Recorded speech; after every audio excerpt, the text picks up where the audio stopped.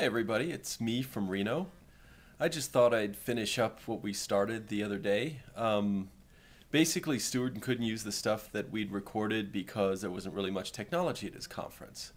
And I'm sitting here, I've got a little bit of a break, and so I thought I would put the video together and put it up on YouTube for you guys so you can see what we had, and also so Stuarts can see we didn't completely mess around while he was gone, although I guess we did a little bit.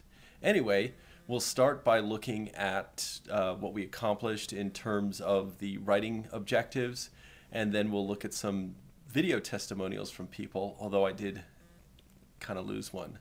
I don't know what happened to it. And then finally, we'll end up with, um, you know, I'm not quite sure what we're going to end up with, but we'll find something. I think it's recording. Let me check. Yeah. Stu, it's me. Um, I know you weren't here for this part, but I just wanted to show you all of the transferable writing skills. I think this is probably better. All the transferable writing skills that people have learned on this first assignment. So um, let's just go over here. And uh, I don't know if you can see this. Let me put my glasses on because I know I can't. But here, here they are, context, subtext, analysis, thesis, conclusion, introduction, fragment run-on, uh, separate ideas, uh, comma, avoid comma splices. Um, what do we have here? Works cited, interpretation, MLA format. Sorry, that's probably going to make you dizzy. Uh, transitions, mind mapping, um, indenting, uh, paragraphs, uh, creative writing, description, reaction, peer revisions, avoiding I, research, um, I can't even read my own writing there. Paint a picture with uh, text. Um, add voice and tone. Um, attitude and subject is related to thesis and um, using metaphors. Okay? So this is probably a pretty good list. I'm hoping it's one that you're proud of and you can show maybe the people at your conference or just kind of watch this video and smile to yourself silently as you sit alone in your hotel room in San Francisco doing nothing but wondering where's my class and, and how, how can I get back to, to my writing class. What's that? Eat at the Pink Elephant. Okay. I'll, I'll give you guys, oh, I shouldn't be talking right now. I'll give you guys a chance to say hi in a minute. Oops. I put, put, I, put, put I, well, I am recording you. Sorry, I'm talking to them, actually, because we just happen to run into some random students who want to talk about their experiences in a learning community. And so uh, I just want to introduce this. Um, if you haven't met me, I'm Mike Coste, by the way. I couldn't make it uh, this weekend to your conference.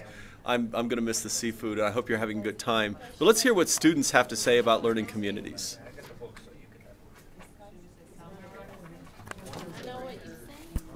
Hi, Stuart. This is Nita. Um, I just wanted to let you know that I think the learning community is so awesome because I like having the learning community. I learn a lot instead of being in a one-person class. You get two teachers, and I just like the way it is.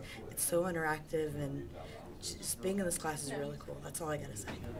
Okay. All right, Stuart, it's Matt again. I'm sure you're probably sick of seeing my face, but one quick uh, footnote. Uh, I like how the classes mesh together with the humanities as well as the English. The end. Still going. Thank you. Oh, stop. stop.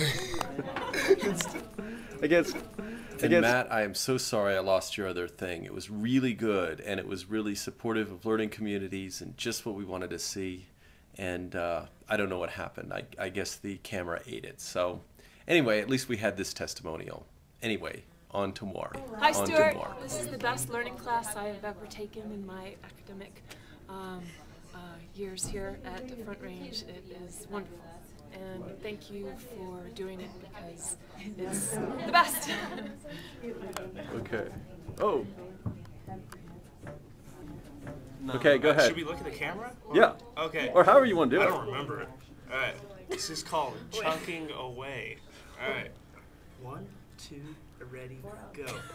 Crawling on the asphalt, looking all about because I'm chunking. Away. Grabbing the words. Day by day. Looking at them like there ain't gonna be another day. Annotating, annotating, annotating. Away. Away. That was good. That's it. you got one. So, uh, so what is this all about? Why are you doing this? Because I love chunking. Okay. Chunking is amazing. yeah, and why do you chunk? I chunk words. You chunk words, and, and for what? What are you chunking? Greek words. Greek words. Yes. Well, Is there a particular work of Greek words you're chunking? Um. The Antigone words, or is that again? What's that? Antig- Antigone. Antigone. Antigone okay, we're chunking. Antigone. Great. That's great. So, do you think learning about chunking is going to help you understand Antigone? Yes. I think it's expanding my musical horizon.